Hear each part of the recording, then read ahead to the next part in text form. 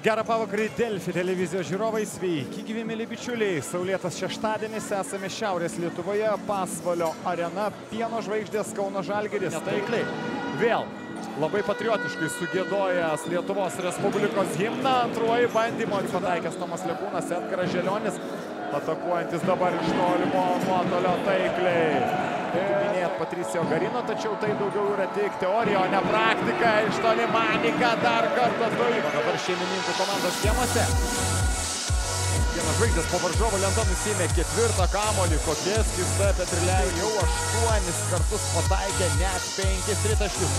Luko Lekavičiaus penktasis tritaškiai. Šikšnis prieš Rubitą. Heizas po varžovo lentą ir dar kartą su bonusu. Paulius Petrilevičius. Manika. Ir dar kartą taikliai. Vienas žvaigždės. Atakuojas. Dar kartą Maniga ir dar kartą iš toli. Ir dar kartą taikliai. Maniga vis. Suklumpa. Wow! Laurinas Balkūnas. Visus lūkesčius. Kas paliko Karalių Lukošiūną, tas moka trim taškais.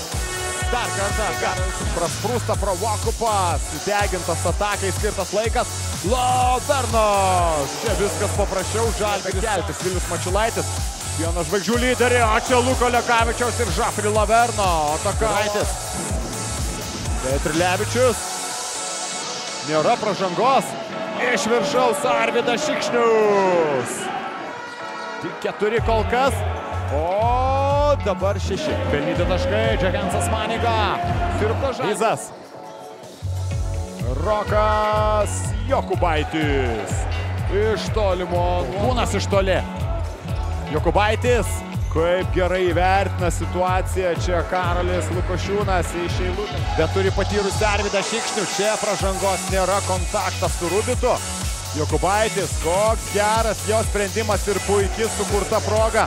Karolį Lukošiūną irgi būtų galima kalbėti, kad tai gera terpė. Rodyti save ir gal daug žaidimo minučių. Redas Menslavas meta iš toli. Žalgirio pagerinta kova dėl kamulio ir apie iškritusi. Edgaras Želionį, Martinas Gebenas. Žaisti su Martinu Gebenu. Dar viena pieno žvaigždžių klaida. Rokas Jokubaitis. Verčia niekais pasvalio komanda. Ta galės padaryti Heizas. Karolis Lukošiūnas. 180 sensacijos mes nesulaukėme, tačiau pieno žvaigždės bent pirmoje rungtynių dalyje davė gerą kovą.